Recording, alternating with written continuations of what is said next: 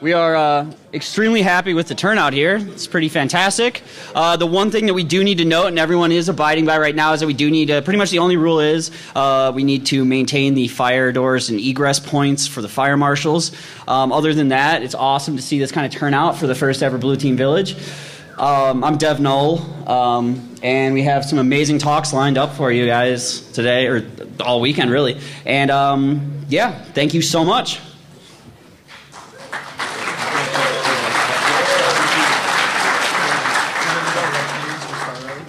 Oh, oh, should we? I don't know. Do we want to start early? I don't. I'm supposed to know this. I guess I am speaker. Apparently, we hear that people want to start early, so we'll do a little introduction here. Thank you for coming to the Blue Team Village. Uh, I'd like to introduce Div, and she's going to talk about automating DFIR. Hey. Hey everyone. You've made it to Friday at DEF CON and you're here. So, yay for all of you. So I'm going to be talking about automating DFIR. Um, quick disclaimer. Uh, following presentation contains my thought, ideas, and opinions. They do not represent those of my current or past employers. Any events, characters, and firms depicted in the course of this presentation are purely fictitious. Any similarity to any events, characters, and firms is merely coincidental. And Deadpool is a trademark of Marvel characters. So since we've got that out of the way, who am I? Um, I'm Div. Um, I'm an incident responder and forensicator. I've been um, doing this for about six years now. Uh, currently, I'm on the blue team, aka threat response at uh, Uber. Prior to that, I was at Autodesk, AT&T, DirecTV. My personal journey in incident response and forensics started about six years ago when I got into my master's in information assurance at Northeastern. So go Huskies!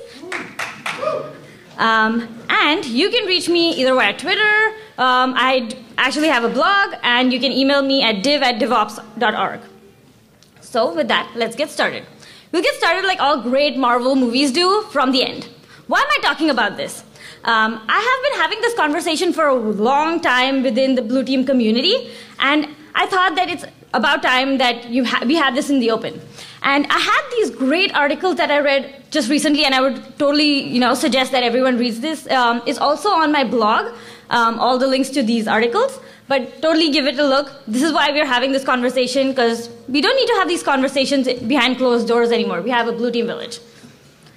So let's see what we're going to talk about. I'm going to talk about automation, uh, its journey as I have seen it in my career in six years, how it's evolved. We'll do a little bit retrospection on the major trends that I have seen come out of it. We'll talk about the areas best to utilize automation. Um, then the few areas where I feel analysis takes the forefront. And then we'll wrap up with an open discussion. I'd love to hear everyone's thoughts about it during, after, or even afterwards. I'll be, I'll be available. So let's get started. When I started six years ago, it was really cool. I walked into this awesome forensics lab, and there was like a big toolkit that was ready to go. It had like these um, cables, it had um, write blockers, it had everything to go. We could go on site, go to a data center, um, go image everything, like hundreds and hundreds of laptops and other stuff. It was really cool. I was really excited. I was like, okay, let's do this. Slowly, that got boring, and a lot of uh, new tools came out, and we could do network acquisitions on the fly. We had EnCase Enterprise, we had um, FTK, we had other awesome tools that came out. And if that wasn't enough, we've now gone from there to actually doing all this in the cloud. And that's a huge way. We've gone from doing full memory acquisition. And I remember when I started, SANS was evangelizing triage as the next new thing, which was really cool. We didn't need to actually do full disk acquisitions. We could get specific artifacts, maybe just memory, registry, plist, logs, and we could figure out what's going on. So that was cool. Slowly, I realized that I didn't want to check those boxes in EnCase and FTK every single time I did a case. So we did live response scripts that was where I think automation actually took off in Blue Team Village. And we also created awesome analysis workstations. Everyone's used Sift, we've used Remnux. Everything's out there, it's already pre-packaged for all of us to use. We've also come a long way from there to get into category specific tooling. We have stuff for email security now. We have stuff for endpoint detection and response, EDR. We have very specific tools in the market. And that's really great. When I started, vendors wouldn't play well with each other. We had to buy like a particular vendor set. I'm pretty sure everyone's gone through this pain. Now with APIs, we can actually integrate this great vendor tool with the other great vendor tool and get all our alerts together. We can orchestrate all our alerts and our processes. This has made us really efficient. We were starting off building one of the most mature security operations centers when I started off. And from there, we've come a great long way to actually getting threat intel, security engineering as their own verticals in incident response. Most importantly, our hiring strategies have also changed. I remember applying for a digital forensics analyst job in, you know, maybe forensics in maybe just Windows or Mac or Linux specific stuff. And now we've actually have jobs which are very toolset specific. You have to be great at automation. You have to be great at scripting. You have to be good at email security. Maybe just EDR is your niche. Um, next gen firewall NGFW, everything is out there. So we've come a long way with hiring as well. And that has actually helped us groom ourselves into more specific kind of jobs, what we want to do. So, in retrospection, I've actually seen three major trends come out. The first being, we've started optimizing run of the mill alerts. No longer do analysts want to work on adware, potentially unwanted program kind of alerts. We don't want to work on phishing. We want to work on the cool stuff. So, we've started automating all that. The second, we've started bringing in third-party retainers, Mandiant, CrowdStrike, etc., and those for big data exposures when we have targeted campaigns that are specific to us or our industry. Not only for due diligence, but also to like give us extra headcount on our team when we have those long exposures and long hours of working. And most importantly, I've seen this major trend. We've started invested in buzzword specific tooling. And by buzzword, I mean AI, machine learning, EDR, NGFW, email security, whatever is the next new thing that everyone at RSA, all the vendor booths are talking about, we've started actually investing in that. What we haven't been investing is the expertise to actually utilize those tools.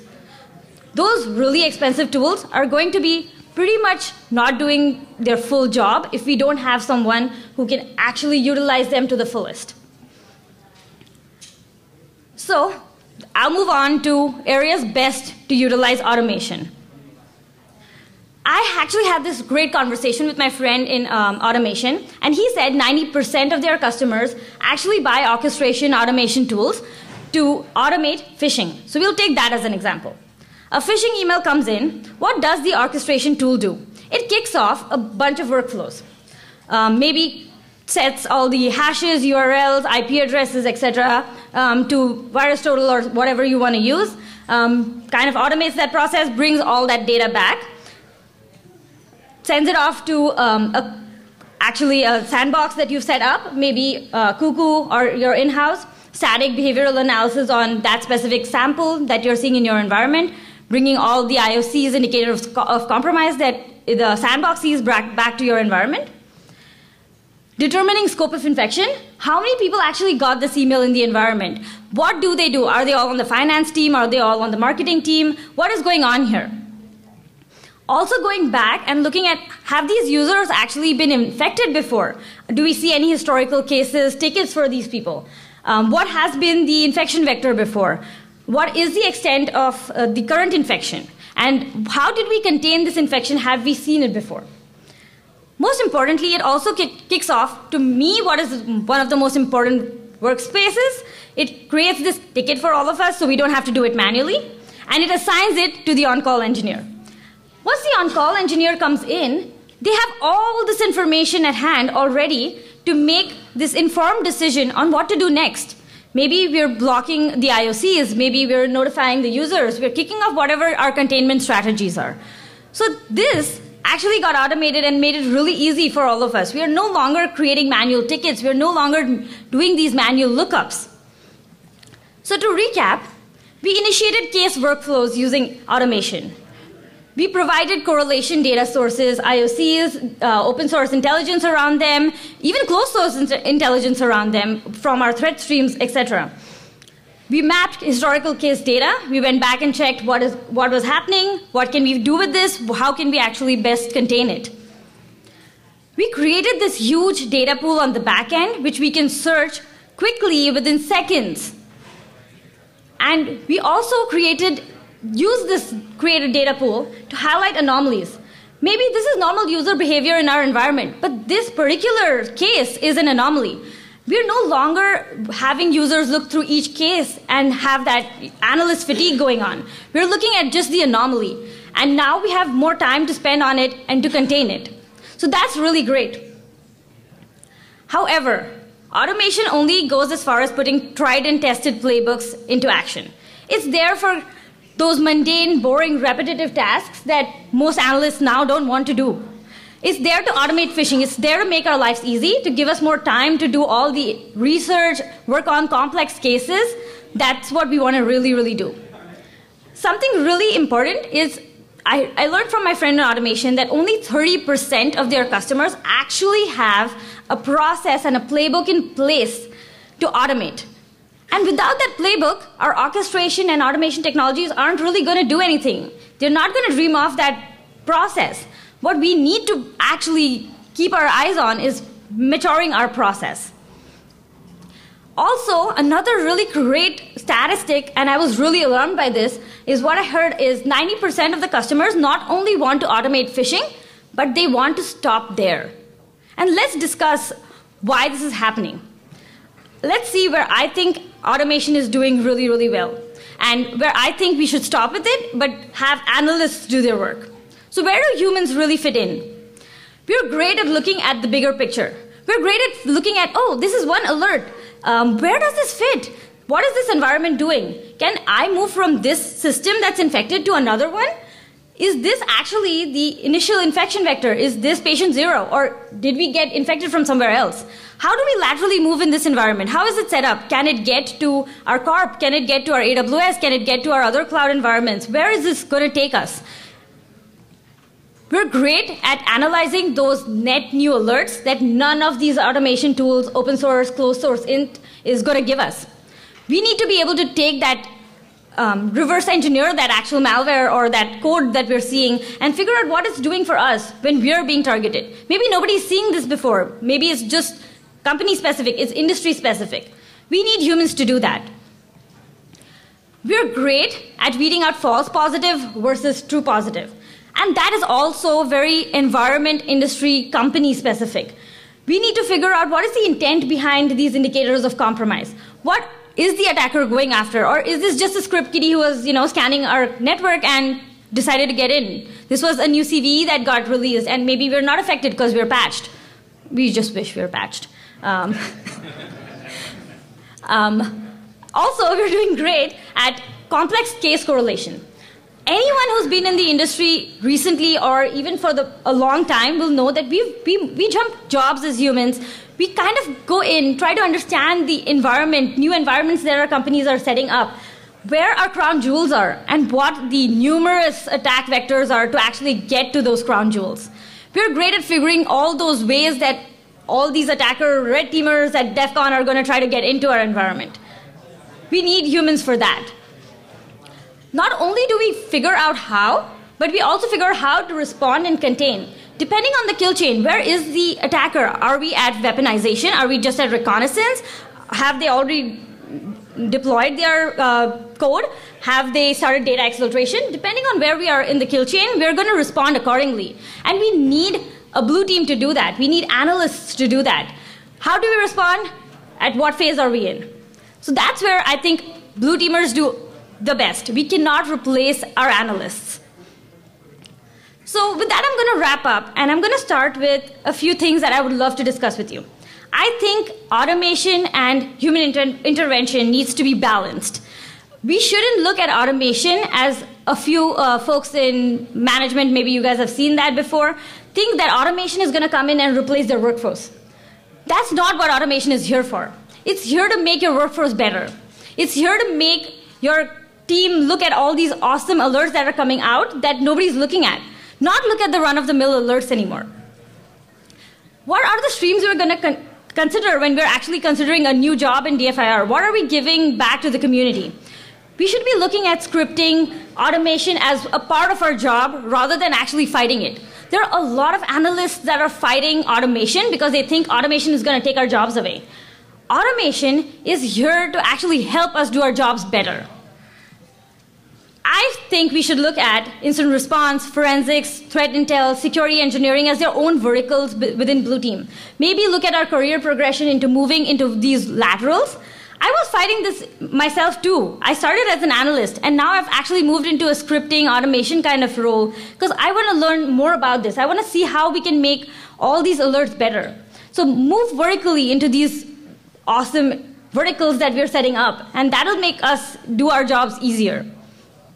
And lastly, automation is not here to take our jobs away. It's here to help us grow as individuals. It's here to have our tier ones start out and basically get better at what they've learned in their training to see if the tool can actually validate what they've seen before.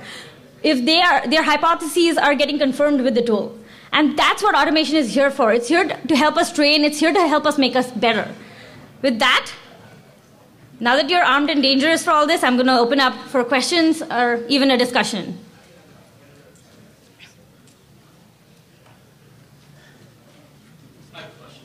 Sure. So for the data that you're using to automate this, where is that coming from? Is that through pen tests? You have like a red team on staff. Like where are you getting the data to validate these alerts as you automate them so that you know Okay, the question was where am I getting the data to automate all this? Um, are they through pen tests and, uh, or other sources?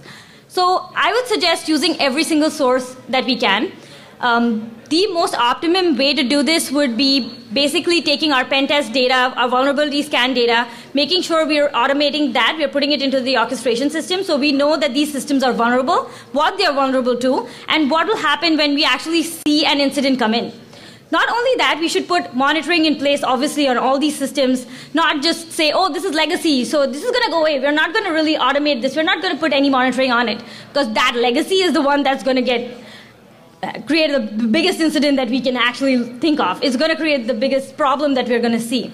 So I'd say use all the sources that you can get. Work uh, in tandem with the red team, with the vulnerability assessment, pen testers on your team, product security. Get everything, all the data that you can not only from your tools, but in house from other analysts, other engineers that are there.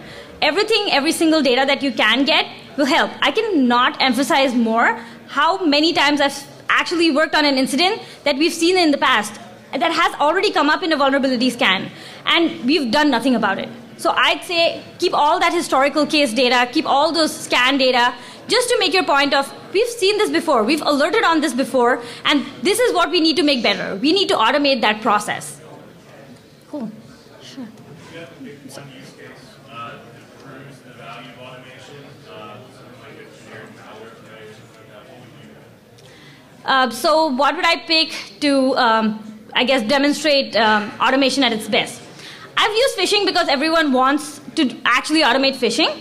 We can use it for a lot of malware alerts too. I've seen really great crafted playbooks. I wish I could discuss it in detail. But I think the best thing to do here is kick off all those work streams because we don't want to actually go in, in and do all that on ourselves. It's easy, it's clean. We're not seeing all our data out there. We're making these searches available, but we're not doing it from our corporate network, so there's no attribution. And that is all that, like connecting all these APIs, having a VirusTotal API, etc., like put into our workstream is only make, make, giving us more sanitary data.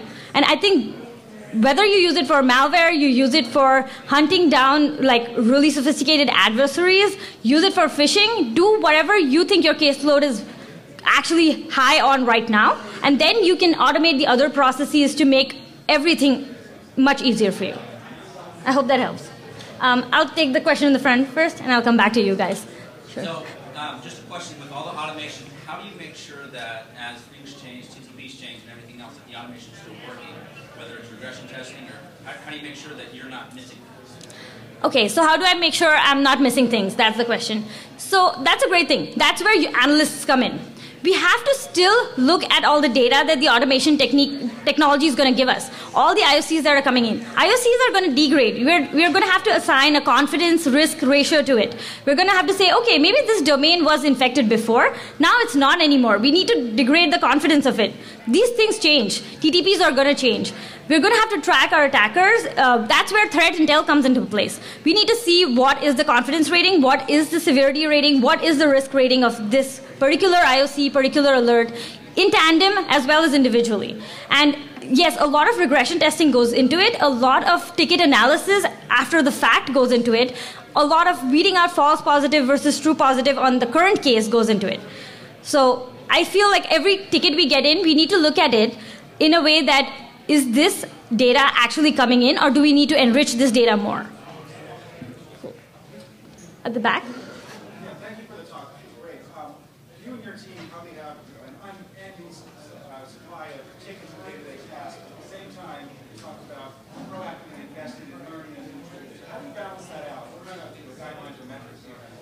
okay, how do I balance uh, doing my normal job with doing all these new tools?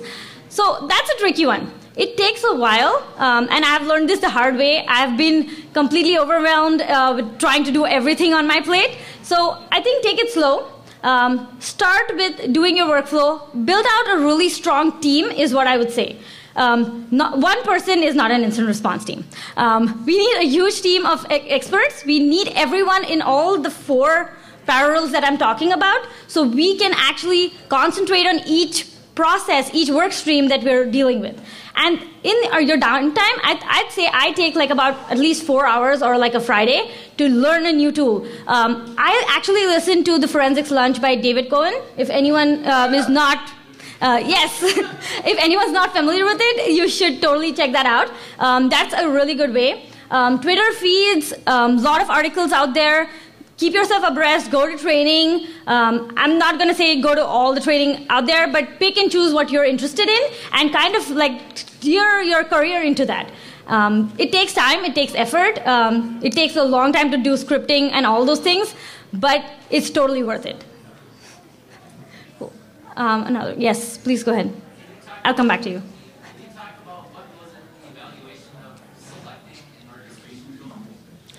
Great question. So, what was the evaluation of selecting an orchestration tool? That is a very complex question. So, when I've done this a couple of times over now, and each place that I've been at has a different selection criteria.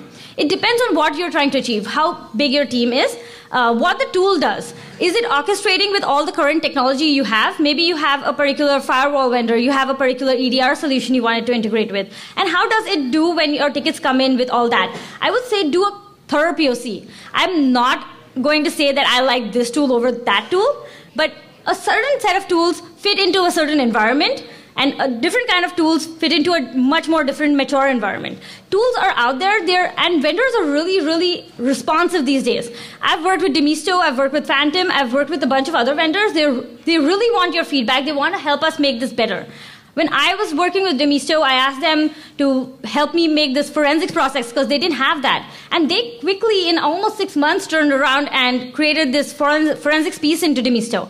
So they're really responsive. Pick and choose your battles. Um, try to see the false positives, see how your threat intel feeds feed into all this, and how is the orchestration tool giving everything to you? Are you comfortable with it? Or if not, maybe just change everything around it to see how you would want to see it on the dashboard. How is it going to help you? It's all there to help you. The tool is not going to do anything on its own. It's going to do whatever you want it to do. Cool. Question in front.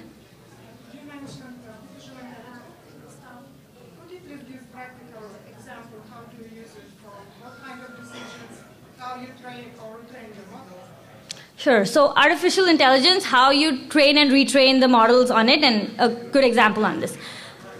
I don't really have a good example on it. Um, I'm, I'm going to be honest about that. I've seen it being used really well when you're looking through IOCs, indicators of compromise, and how they degrade from one place to the other. How is, um, how is the model kind of understanding those anomalies? So I've seen it do really well on saying, oh, we've seen this user behavior before. Um, maybe this is tax season, and this is an anomaly because nobody clicked on it, but we trained our users and this person clicked on it. Or this person's on PTO, and we still are seeing like VPN connections coming up, uh, one up and forth from their computer. So looking at those models to actually employ in, into your work stream, it's a little difficult. Um, a lot of tools say that you can use it really well. I haven't really seen it effectively used yet If anyone has, I would love to talk to you. Um, but yeah, I haven't really seen it um, used amazingly well. I do know that anomaly detection is one of the major examples of using artificial intelligence and machine learning. Whether I have seen it optimized to the best intent to help me, I have my thoughts on that.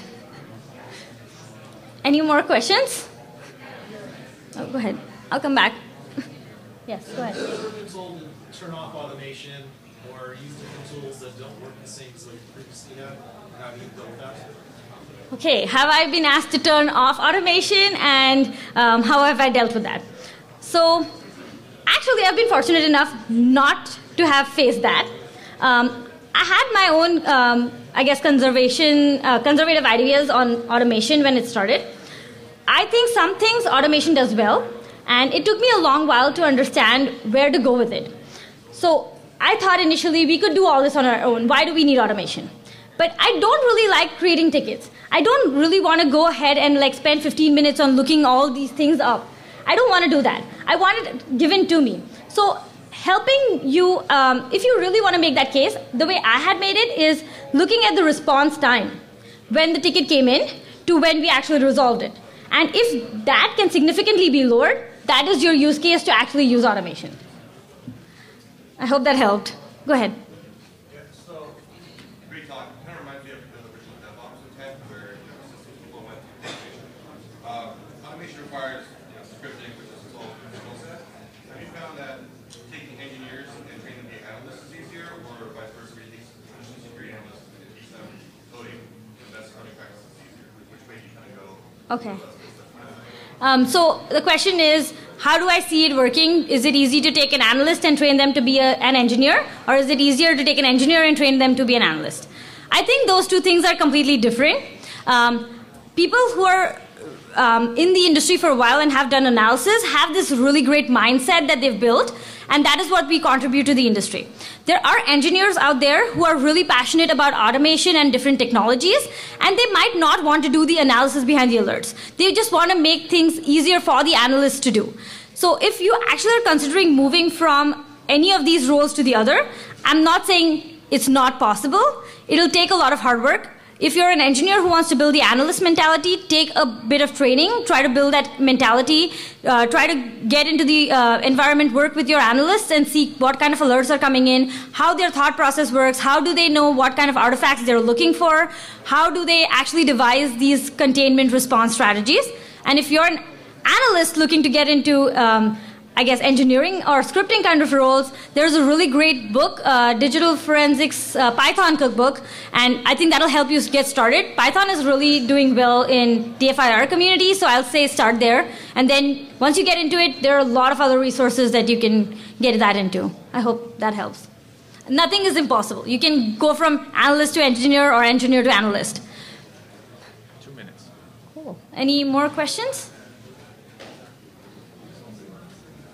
Cool. Thank you.